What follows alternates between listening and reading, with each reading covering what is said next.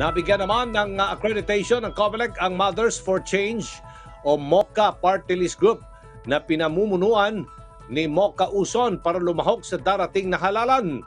Ayon sa COMELEC, nakuha ng MOCA Party List ang lahat ng requirements bilang sectoral organization.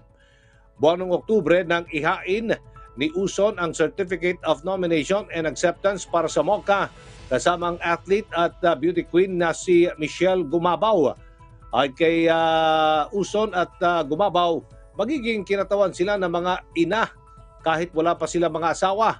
Paliwanag ni Uson, nagsilbi siyang ina ng kanyang mga kapatid nang pumanaw ang kanyang ama at nagkaroon ng kanser ang kanyang ina. Samantala, binasura naman ng COMELEC ang kona ni Malasakit Party List Group at dating MMDA spokesperson Celine Pialago.